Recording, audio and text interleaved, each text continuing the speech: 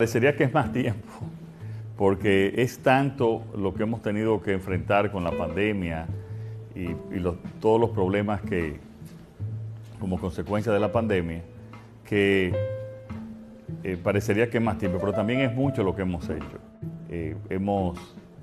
eh, llevado, en términos de salud, no solamente hemos enfrentado la crisis de la pandemia, sino que también nos hemos adelantado en casos como llevar seguro médico universal a todos los dominicanos. En solo cuatro meses nosotros tenemos un preacuerdo con, o un acuerdo eh, con un depósito de la vacuna AstraZeneca, Oxford,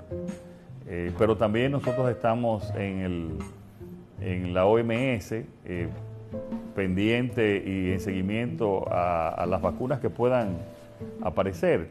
Es el único país que le estamos dando a cada turista que llega a la República Dominicana, le damos un seguro COVID eh,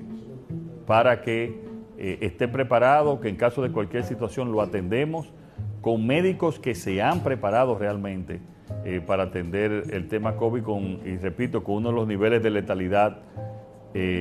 más bajos del, del mundo. Aquí esos turistas estarán más seguros que sus países de origen.